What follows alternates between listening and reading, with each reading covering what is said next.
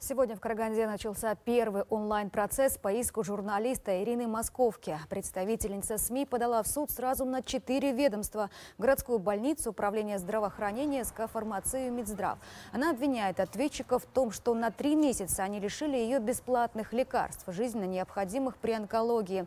Противоопухолевые препараты снижают риск рецидива болезни, поэтому истец была вынуждена покупать медикаменты за свой счет.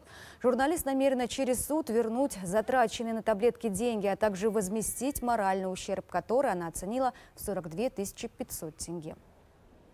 Напрямую эти организации причастны. Я хочу разобраться, кто же, собственно, виноват. Нельзя так с лекарствами поступать, что раз поставщики не нашлись, два, там лицензия какая-то не такая, да, там у поставщика. То есть из-за вот этих вот проволочек бюрократических э, люди остаются без лекарств.